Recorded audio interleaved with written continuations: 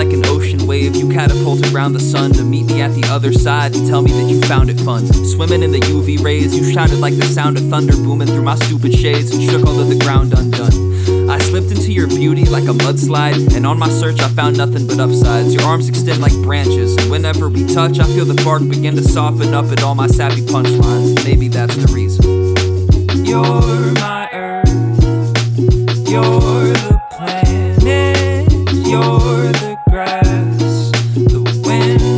time.